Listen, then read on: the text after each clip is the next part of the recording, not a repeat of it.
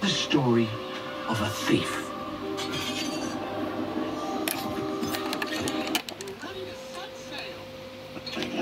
His brother Bobby Hardwick owns five bars on Berlin Street, plus Rock.